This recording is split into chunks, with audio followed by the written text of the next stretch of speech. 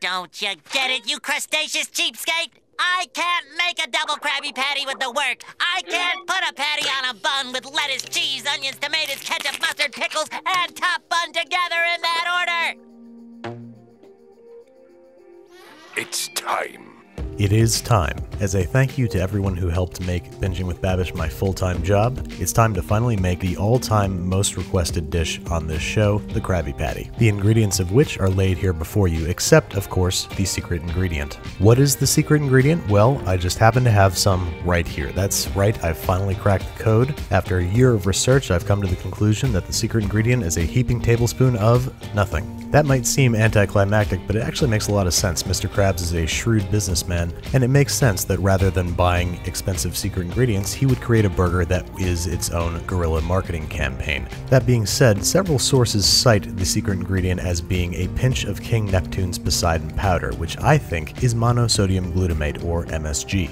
So we're going to start by seasoning a store-bought frozen beef patty with salt, pepper, and MSG. Now some people are saying that it's a crab burger, but Mr. Krabs is a crab. That's pretty horrible and barbaric, even for Nickelodeon. So once thawed, we're going to prepare our burger much as we would any other burger.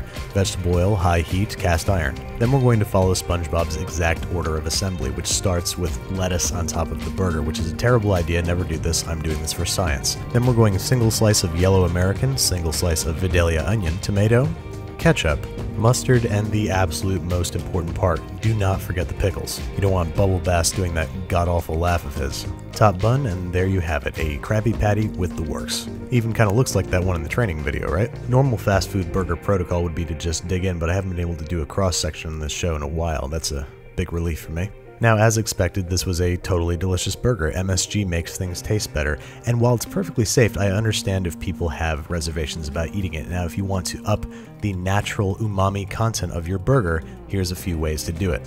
The first stop is to make a seasoning out of some natural umami bombs. We're going to start with a bit of bonito flake, which is a shaved dried fish, some dried shiitake mushrooms, some dried kombu, which is a sort of sea kelp, so this seems even more accurate. If I had to really realistically guess what Mr. Krabs' secret ingredient was, it'd be that, and a single anchovy. Now this is all sounding pretty fishy, sorry, but rest assured that these will not make your burger taste like seafood.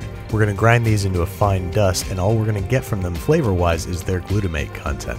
Use a spice grinder like this one to completely powderize these ingredients so they make an easy sprinkling dust for later on. Now onto the burger patty. Umami refers to the unctuousness and savoriness of a dish, so it only makes sense that we'd use some fatty, flavorful cuts of beef. So we're going to cut equal parts beef, short rib, and chuck steak into 1 inch cubes that we're going to place in the freezer for about 15 minutes along with the blade of a food processor to get everything nice and firm and cold.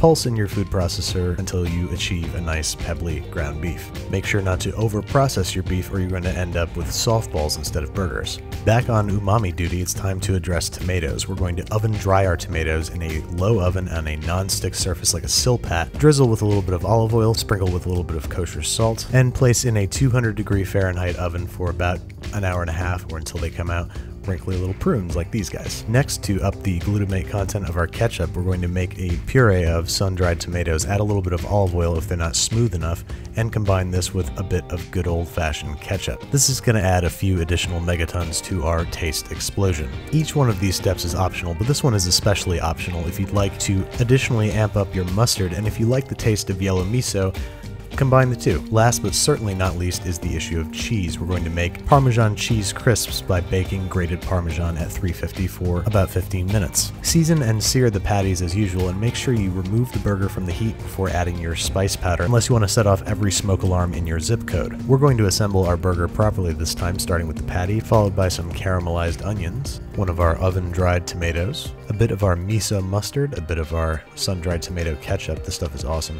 a Parmesan cheese crisp, and last, where it belongs, a handful of iceberg lettuce. Top your burger and slice in half for that cross section, and try to contain your embarrassment over the fact that you've overcooked the patty, but celebrate the fact that this burger is a symphony of flavor. You guys know me, I don't clean my plate unless it's really, really good, especially because these things are going straight to my thighs before I blow up.